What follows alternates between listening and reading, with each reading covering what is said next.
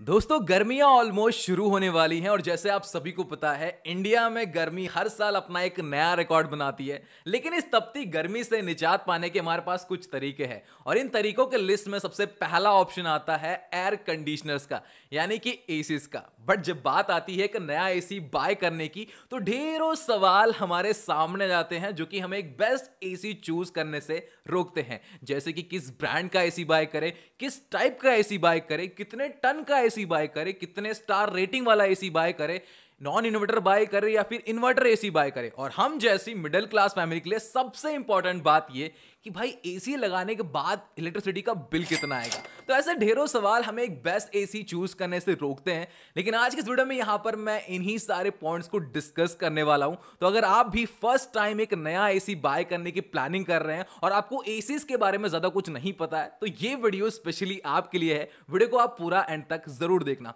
इसी के साथ मैंने आपके लिए हर एक प्राइस रेंज में हर एक यूज़र रिक्वायरमेंट के अकॉर्डिंग कुछ बेस्ट एसीज के लिंक्स जो है मैंने डिस्क्रिप्शन में दिए हैं। तो आप उनको भी कंसिडर कर सकते हैं।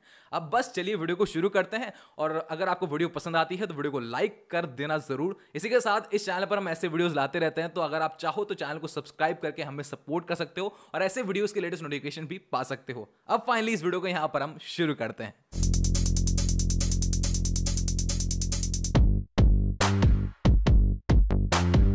तो दोस्तों, जब भी हम एक नया एसी बाय करने जाते हैं, हमारे पास दो ऑप्शन होते हैं। बेसिकली मार्केट में दो टाइप की एसीज अवेलेबल है। सबसे पहला है विंडो एसी और दूसरा है स्प्लिट एसी और दोनों की इमेजेस यहाँ पर मैं आपको शो कर रहा हूँ। और डेफिनेटली आपने इन दो टाइप के एसीज को अपने लाइफ में ज़रूर देखा होगा। वेल यहाँ पर हम बात करते हैं इनके नेगेटिव एंड पॉजिटिव पॉइंट्स की, यानी प्रोज एंड कॉन्स की, जिसके थ्रू आप आइडिया लगा सकते हो कि आपके लिए इन दोनों में से कौन से टाइप का एसी बेस्ट होगा। सबसे पहले बात करते हैं यहाँ पर हम विंडो एसी की। तो जैसा इसका नाम है, ये एसी विंडो में फिट होता है और इसके लिए आपके घर में विंडो होना ज़रूरी है। नहीं है तो आप इस टाइप के एसी को नहीं लगा सकते हैं।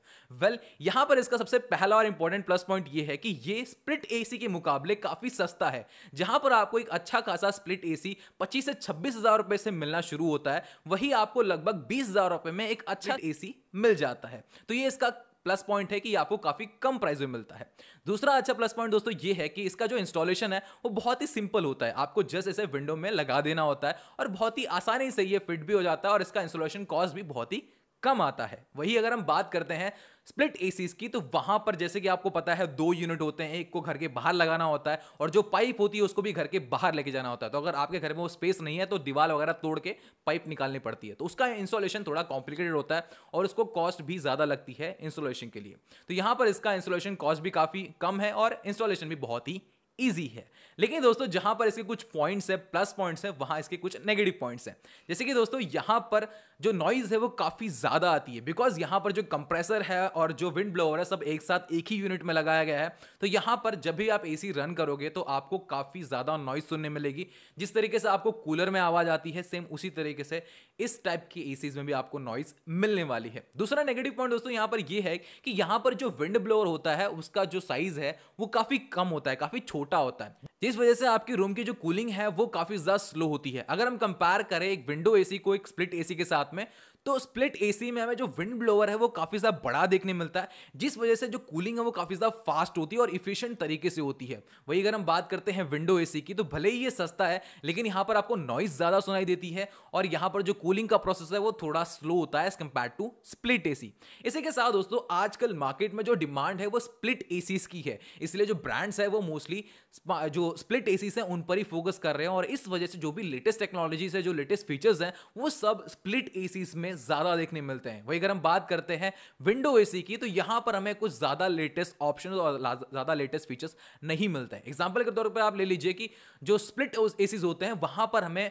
फिल्टर्स भी लगा के मिलते हैं। तो वो एसीज एयर को कूल करने के साथ ही साथ एयर को प्यूरिफाई भी करते हैं। वही आपको नॉर्मल विंडो एसी में ऐसे फीचर्स नहीं देखने मिलते हैं। तो ये थे सारे pros and cons window AC के। वही अगर हम बात करते हैं दोस्तों एक स्प्लिट एसी की तो स्प्लिट एसी में दोस्तों भले ही आपको इंस्टॉलेशन कॉस्ट थोड़ा ज़्यादा लगता है, लेकिन सबसे पहली बात, यहाँ पर आपको जो कूलिंग है वो काफ़ी इफिशियंट तरीके से मिलती है। रूम जल्दी कूल हो जाता है। इसी के साथ यहाँ पर आपको बिल्कुल ही साइलेंट ऑपरेशन मिलता है, यानी कि यहाँ पर आपको ज़्यादा नॉइस नहीं मिलती है, जो कि काफ़ी अच्छी बात है। इसी के साथ दोस्तों विंडो एसी के मुकाबले जो स्प्लिट एसी है, वो दिखने में काफ़ी अच्छे लगते हैं और घर को एक अच्छा लुक भी देते हैं। साथ ही साथ, इन टाइप के ए में आपको लेटेस्ट टेक्नोलॉजीज़ भी मिलती हैं और टेक्नोलॉजीज़ के भाई कोई लिमिट नहीं है। अगर आप जितने पैसे खर्चा करते जाओगे उतनी अच्छी अच्छी टेक्नोलॉजी आपको मिलती जाएँगी एसीज में। तो ये थे दोनों के ही प्लस पॉइंट और नेगेटिव पॉइंट्स अब यहाँ पर मुझे लगता है कि आपको क्लियर हो चुका होगा कि विंडो एसी में क्या मिलता है और स्प्लिट एसी में क्या मिलता है। वेल well, ज़्यादातर लोग स्प्लिट ए कंसिडर करते हैं तो आप भी स्प्लिट ए कंसिडर कीजिए ये थोड़ा बेटर होगा। लेकिन अगर आपका बजट अलाउ नहीं करता और आपके पास विंडो है ऑलरेडी तो आप विंडो एसी भी बाइक कर सकते हैं। अब दोस्तों, एक बार अगर आपने डिसाइड कर लिया कि भाई स्प्लिट एसी बाय करना है या फिर विंडो एसी बाय करना है नेक्स्ट जो अगला कदम है, वो ये आता है कि कितने टन का एसी बाय करना है। अब यहाँ पर एक टन के एसी मिलते हैं 0.8 के एट टन के एसी मिलते हैं 0.5 टन के मिलते हैं टू टन के मिलते हैं और टू और थ्री टन के भी मिलते हैं। लेकिन सबसे पहले सवाल आता है कि भाई ये टन क्या होता है? तो आसान भाषा में अगर मैं आपको समझाना चाहूँ तो आप समझिए कि आपके रूम में मैंने एक टन बर्फ़ डाल दी है आइस डाल दिया है अब वो एक टन आइस आपको जितनी कूलिंग देगा सेम उतनी ही कूलिंग आपको एक टन का एसी प्रोवाइड कराने वाला है। तो बेसिकली ये आसान भाषा में टन का मतलब है। अब सवाल आता है कि कितने टन का एसी बाय करना चाहिए? तो ये बहुत सारे फैक्टर्स पर डिपेंड करता है। जैसे कि आपके रूम पर डायरेक्ट सनलाइट आती है या फिर नहीं, आप टॉप फ्लोर पर रहते हो, आपके घर में कौन से कौन से डिवाइसेस जो कि हीट रिलीज़ करते हैं बट जो मेजर फैक्टर है जो कि मैटर करता है, वो है आपके घर का एरिया या फिर आपके रूम का एरिया यहाँ पर मैं आपको एक एक आइडिया देता हूँ जिससे आप डिसाइड कर पाएँगे कि कितना टन का एसी बाय करना चाहिए। तो सपोज़ आपके रूम का साइज़ जो है वो 100 स्क्वायर फीट के आसपास है तो उस केस में आप 0.5 या फिर 0.8 टन का एसी बाय कर सकते हैं। वही अगर आपके रूम का साइज़ 100 से 150 स्क्वायर फीट तक का है तो उस केस में आप वन टन का एसी बाय कर सकते हैं। और अगर आपके रूम की साइज़ 150 से लेकर 250 तक की है तो उस केस में आप 1.5 या फिर टू टन तक जा सकते हैं, और अगर 250 से ज़्यादा है तो आप टू टन से ऊपर जा सकते हैं। तो यहाँ पर आपको कुछ इस तरीके से चेक कर लेना है। सबसे पहले आपको चेक करना है कि आप जिस रूम में लगाने वाले हो एसी, उसका एरिया क्या है, और उस वाइज यहाँ पर आप सिलेक्ट कर सकते हो कि आपको कितने टन की रिक्वायरमेंट है। यहाँ पर दोस्तों और एक इंपॉर्टेंट पॉइंट बताना चाहूँगा, जो कि बहुत ज़्यादा इंपॉर्टेंट है ध्यान से सुनना। सपोज़ अगर आपकी रूम की जो साइज़ है, वो बड़ी है, लेकिन आप पैसे बचाने के लिए कम टन का एसी लेते हैं। सपोज़ आपके रूम के साइज़ 250 स्क्वायर फीट की है, लेकिन आप सिर्फ़ वन टन का एसी बाय कर लेते हैं। तो इसमें क्या होगा दोस्तों? आपके रूम की साइज़ बड़ी है और यहाँ पर वन टन का एसी जो है, उसको इत, उसके पास इतनी कैपेसिटी नहीं है कि वो आपके एयर को कूल कर पाए। तो इसके ऊपर लोड बढ़ेगा और आपका जो कूलिंग है कूलिंग का जो प्रोसेस है वो स्लो हो जाएगा। दूसरी बात यहाँ पर जो एसी है एसी का जो कंप्रेसर है उस पर भी लोड पड़ने वाला है। तो इससे दो चीज़ होंगी। सबसे पहली यहाँ पर कंप्रेसर पर लोड पड़ने की वजह से आपका इलेक्ट्रिसिटी बिल बढ़ जाएगा। और दूसरी पॉइंट यहाँ पर यह है कि यहाँ पर लोड पड़ने की वजह से आपके कंप्रेसर की लाइफ स्पैन भी कम होगी। और वही अगर आपका रूम का साइज़ सपोज़ 150 स्क्वायर फीट और आप दो टन का एसी लेकर आते हैं तो वो भी एक बेकूफी होगी बिकॉज़ आपको उतने रिक्वायरमेंट है ही नहीं। तो मतलब आपका जो बिल है वो ऑटोमेटिकली ज़्यादा आएगा और मैं तो कहूँगा कि वो फिजूल खर्ची हो गई। तो आपको यहाँ पर बहुत ज़रूरी है कि जितना आपका एरिया है और जितनी आपकी रिक्वायरमेंट है, उतने ही टन का एसी बाय करना है। अब दोस्तों, यहाँ पर अगला स्टेप ये है कि क्या हमें एक नॉर्मल एसी बाय करना चाहिए या फिर हमें एक इन्वर्टर बेस एसी बाय करना चाहिए? अब ये डिसाइड करने से पहले हम ये जान लेते हैं कि ये दोनों टाइप के एसीज काम किस तरीके से करते हैं। सबसे पहले बात करते हैं नॉर्मल एसी की। तो सपोज़ दोस्तों, मैंने एक नॉर्मल एसी बाय करी है और उसे मैं सेट कर देता हूँ 25 डिग्री सेल्सियस पर। अब मेरा कंप्रेसर स्टार्ट होगा और कूलिंग स्टार्ट होगी। और जैसे ही रूम का टेम्परेचर 25 डिग्री पर रीच करेगा, मेरा कंप्रेसर ऑफ़ हो जाएगा। और जैसे ही उसके बाद थोड़ा थोड़ा टाइम टेम्परेचर नीचे आएगा, वैसे ही मेरा कंप्रेसर फिर से स्टार्ट होगा और फिर से वो 25 पर लेकर आएगा। और इस तरीके से बेसिकली नॉर्मल एसी काम करते हैं। लेकिन दोस्तों, यहाँ पर हो क्या रहा है? मेरा जो कंप्रेसर है, वो बार बार ऑन ऑफ़ ऑन ऑफ़ हो रहा है। और जब भी कंप्रेसर ऑफ़ होकर फिर से ऑन होता है तो ये पूरी पावर कंज्यूम करता है और ये प्रोसेस बार बार हो रहा है। जिस वजह से आपकी एसी की पावर कंजप्शन बढ़ जाती है। तो इनडायरेक्टली नॉर्मल एसीज में आपका जो इलेक्ट्रिसिटी बिल है, वो ज़्यादा आता है। साथ ही साथ यहाँ पर कंप्रेसर जो है बार बार बंद चालू बंद चालू हो रहा है, जिस वजह से यहाँ पर जो टेम्परेचर है रूम का, वो कॉन्स्टेंटली मेंटेन नहीं रहता है। अब वही अगर हम बात करें नई टेक्नोलॉजी इन्वर्टर एसीज की तो यहाँ पर सपोज़ मैंने एक इन्वर्टर एसी बाय करा है और इसे मैं ट्वेंटी डिग्री सेल्सियस पर सेट कर देता हूँ। तो जैसे ही मेरा एसी 25 डिग्री पर रीच करेगा, मेरा जो कंप्रेसर है वो स्लो हो जाएगा। पहले केस में बंद हो रहा था, लेकिन यहाँ पर ये स्लो डाउन हो जाएगा। और जैसे टेम्परेचर नीचे जाएगा, ये थोड़ा सा फास्ट होगा थोड़ा सा स्लो होगा मतलब यहाँ पर कंप्रेसर बार बार बंद चालू नहीं होता है, जिस वजह से इलेक्ट्रिसिटी सेव होती है। साथ ही साथ मेरे रूम का जो टेम्परेचर है, वो भी कॉन्स्टेंटली मेंटेन रहता है। तो अगर हम कंपेयर करें नॉर्मल एसी को इन्वर्टर एसी के साथ में तो इन्वर्टर एसी आपकी इलेक्ट्रिसिटी सेविंग करता है। लगभग 30 परसेंट इलेक्ट्रिसिटी यहाँ पर सेव हो जाती है। इसी के साथ यहाँ पर रूम का टेम्परेचर भी कॉन्स्टेंटली मेंटेन रहता है और इस वजह से कंप्रेसर की लाइफ स्पैन भी बढ़ जाती है। तो यहाँ पर दोस्तों, मैं तो आप सभी को यही सजेस्ट करूँगा, भले ही आपके दो चार हज़ार रुपए ज़्यादा एक्स्ट्रा जाए, आप एक इन्वर्टर एसी ही बाय करें ताकि लॉन्ग रन में आपको उस एसी का प्रॉफिट मिले, आपका इलेक्ट्रिसिटी सेव होने की वजह से। अब दोस्तों, यहाँ पर हमने ये भी डिसाइड कर लिया है कि भाई किस टाइप का एसी बाय करना चाहिए।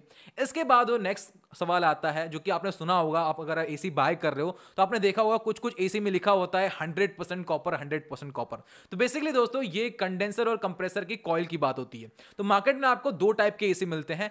पहला, जिसमें आपको कॉपर की कॉइल्स मिलती हैं, और दूसरा, जिनमें आपको एल्यूमिनियम की कॉइल्स मिलती है। अब जो एल्यूमिनियम कॉइल वाले एसीज हैं, वो आपको थोड़े सस्ते मिलते हैं। लेकिन दोस्तों, उसमें प्रॉब्लम ये होती है कि एल्यूमिनियम कॉपर के मुकाबले जल्दी खराब हो जाता है। यहाँ पर जो रस्ट है, वो जल्दी लग जाती है और ये जल्दी खराब भी जाता है। तो अगर आप भले ही स्टार्टिंग में सस्ता देखकर आप एल्यूमिनियम वाला कॉइल वाला एसी बाय कर लेते हैं तो आपको स्टार्टिंग में हो सके वो कम प्राइस में मिल जाएगा, लेकिन जब बाद में वो खराब होगा तो आपको उसका रिपेयरिंग कॉस्ट ज़्यादा पड़ेगा तो अल्टीमेटली वो ज़्यादा ही हो जाने वाला है। इसीलिए अभी के टाइम पे रिकमेंडेड है कि आप कॉपर कॉइल वाला एसी बाय करें। इसका बेनिफिट ये है कि कॉपर में हीट एक्सचेंज काफ़ी अच्छी तरीके से होती है, जिस वजह से आपका कंप्रेसर आपको प्रॉपर इफिशियंट कूलिंग दे पाता है। दूसरी इंपॉर्टेंट पॉइंट ये है कि यहाँ पर इसकी जो लाइफ स्पैन होती है, वो काफ़ी अच्छी होती है, जल्दी यहाँ पर रस नहीं लगता है। तो आपको स्टार्टिंग में थोड़े पैसे ज़्यादा देने पड़े, लेकिन आपको एक कॉपर कॉइल वाला एसी बाय करना है। अब दोस्तों, यहाँ पर नेक्स्ट पॉइंट ये है कि कितने स्टार रेटिंग वाला एसी